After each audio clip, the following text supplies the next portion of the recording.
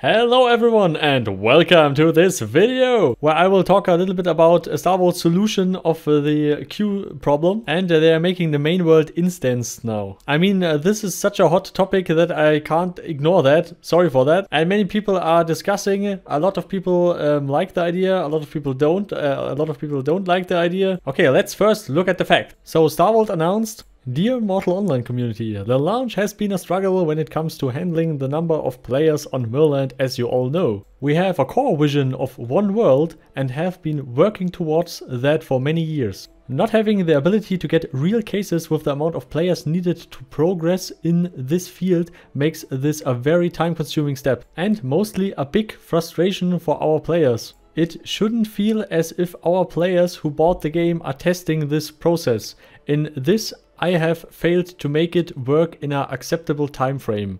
Uh, this is written by Henrik. We have done several patches that have increased the overall stable population cap by 300 to 600 at a time and we are reaching decent numbers for Myrland, but not enough to support our 10k that want to play on Myrland right now. This means we have decided that we need to do what's necessary to make sure everyone can play directly. This means we will add additional continents just as planned for future continents like Sarducaa etc. But it will be a for now. You will be able to travel back and forth as you do between different Haven instances now and things will remain persistent with your character and your guild status. However, you will not be able to build on these extra Myrland continents, only on the main one. And now to the last part of it.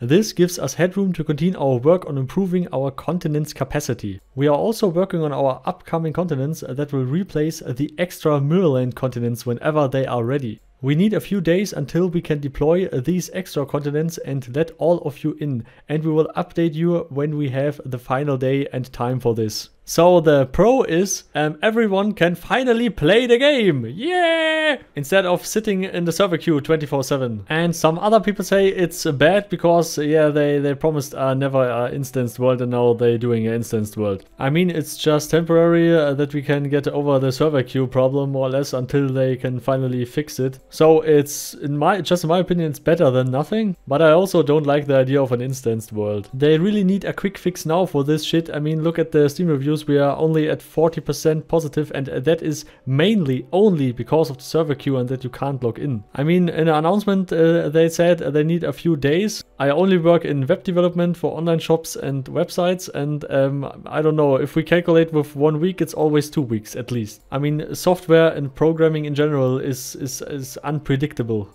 unless you have made the exact same thing but then you will just take the exact same thing and then you would already have it. So yeah. And also very interesting if you type in Online 2 rating we are at 4.6 and the rating in the Google sidebar is actually 70% which is awesome. Yeah anyway I think uh, Star Vault is working pretty hard on this. I mean Henrik said in his last stream that um, he uh, really uh, uh makes sure that uh, all the developers get enough sleep. I don't know what he meant by that but I guess uh, all the or nearly all the Star Vault team is working 24/7 uh, since two weeks. A link to the stream summary is in the description, by the way. So anyway, please let me know. Please let everyone know what you think about uh, this. If you like the if you like the more instanced approach, or if you would like to sit in the server queue 24-7. I mean, some people get in after a few hours and some people get in after two days. So it's the only workaround quick fix uh, that could uh, fix uh, the queue problem. I mean, an, an instanced world is uh, stuff like, um, um, I, I, always said if, if Mortal is instanced, I go, I just go. If, if we have a second server, I just go. Because uh, that is what makes Mortal unique.